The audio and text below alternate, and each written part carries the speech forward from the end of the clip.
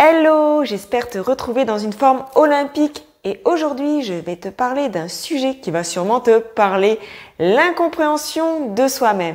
Pourquoi je me comprends pas? Bienvenue sur ma chaîne YouTube, je me prénomme Christine et je suis coach en motivation. Je t'accompagne, toi, personne dotée d'une sensibilité plus élevée que la moyenne, à dévoiler ton potentiel de sensible et à oser créer une vie qui te correspond. Et oui, c'est possible en apprenant à gérer ta sensibilité, en exprimant ton plein potentiel et en osant voir grand. Dans cette vidéo, je te partage 5 raisons de pourquoi tu ne te comprends pas toujours. Pourquoi moi non plus, je ne me comprenais pas avant. Et tu sais quoi, ça me faisait sentir vraiment très mal, ça m'excluait, je m'isolais, je m'isolais seule et je me limitais dans ma vie de sensible.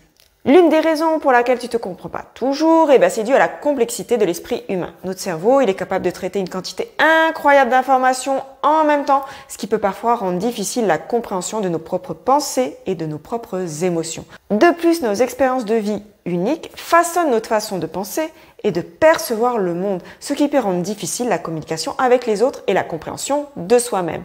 Nous sommes sans cesse en évolution et des fois il faut un temps d'adaptation pour comprendre cette évolution.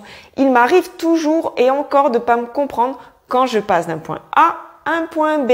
Et oui, j'évolue toujours et l'adaptation entre A et B, eh ben c'est pas instantané. Il faut un temps d'adaptation. Une autre raison pour laquelle tu te comprends pas toujours, eh bien, c'est l'influence des autres sur ta vie. Nous sommes constamment exposés à des opinions, à des valeurs, à des normes sociales qui peuvent affecter notre propre perception de nous-mêmes. En plus, les expériences traumatisantes ou les relations toxiques, ça peut aussi avoir un impact négatif sur notre estime de soi et sur notre capacité à comprendre nos propres émotions et nos propres comportements. Si tu es une personne sensible, eh bien, tu sais de quoi je parle. On a défini une norme de sensibilité et si tu la dépasses, eh bien, tu deviens hors norme, tu deviens anormal. Eh bien, quoi? Faut se ranger alors, alors dans la norme. C'est là que l'incompréhension de soi se crée. À l'intérieur, on est sensible, mais à l'extérieur, on nous dit autre chose. Et là, confusion. Le manque de conscience de soi, c'est une autre raison pour laquelle tu ne te comprends pas toujours. Il peut être difficile de reconnaître ses propres défauts, ses faiblesses, ainsi que ses propres forces et ses propres talents. Il est plus facile de se perdre dans une routine quotidienne, de ne pas prendre le temps de réfléchir sur ses propres actions, sur son propre choix de vie, ce qui peut rendre difficile eh ben, la compréhension de nos motivations et de nos aspirations profondes. Pour se connaître, il faut travailler sur soi et il n'y a pas de recette miracle. Ça demande du courage, ça demande des efforts. Je sais qu'il y a une théorie du non-effort pour euh, s'épanouir, mais si tu restes dans un canapé à visualiser toute la journée, bah, je pense pas que ça va fonctionner. Pour lever cette incompréhension, bah, faut travailler, faut faire un travail d'introspection avec des livres, des formations, des vidéos, des coachings. Est-ce que tu connais tes forces? Est-ce que tu connais tes faiblesses? Si tu les connais, eh ben, tu vas voir, ça va lever certaines incompréhensions. Les conflits internes sont une autre raison pour laquelle tu te comprends pas toujours. Parfois, on a des désirs et des besoins qui sont totalement contradictoires et ça peut mener à agir de façon incohérente ou ressentir des émotions confuses. confuses pardon.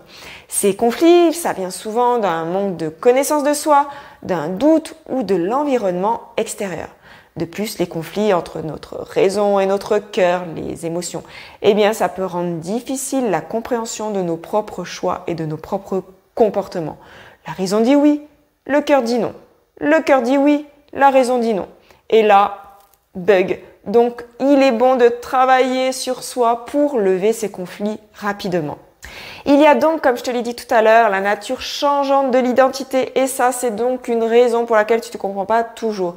Comme je l'ai dit, l'identité, elle est en constante évolution tout au long de la vie en fonction des expériences, des interactions avec le monde qui nous entoure.